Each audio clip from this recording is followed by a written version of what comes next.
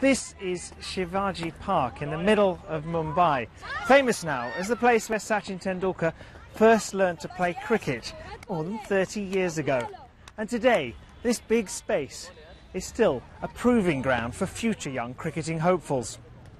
You're now about the same age as uh, when he was first playing here. Is Indian cricket ever going to be the same again now he's stepping off the stage? Uh, uh, in, Indian cricket without Sachin is like bat without ball. The, it will, it, the Indian cricket will be not seen. How does it feel though?